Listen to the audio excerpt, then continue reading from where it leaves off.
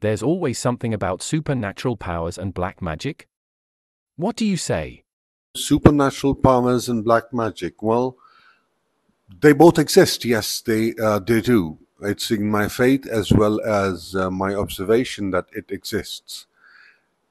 It's basically, you know, if you put it this way, that you are, uh, you know, let's say, for example, I'm I'm a zero watt bulb, or for that matter, five watt bulb, and you place an eighty thousand watt bulb uh, next to me.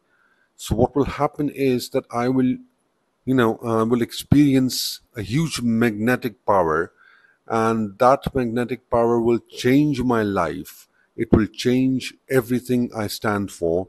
It will change my physical and emotional dynamics.